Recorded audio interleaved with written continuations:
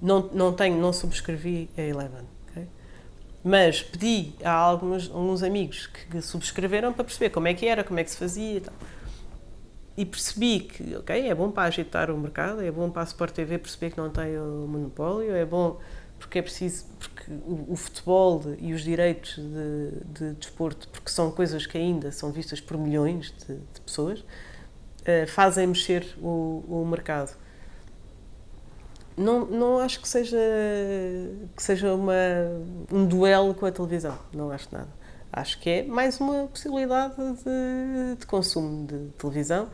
Uh, não sei se estão a fazer um bom trabalho ou não, não vou, não vou, não vou opinar sobre isso, porque depois, além das, de, dos canais de televisão de free-to-air e dos canais de televisão por cabo, há os operadores de canais de televisão. E depois há essas plataformas. E tudo isto são indústrias e tudo isto é negócio. E, e isto é negócio e, portanto, percebe-se porque é que umas coisas acontecem, outras não, o que é que faz mexer, o que é que não faz.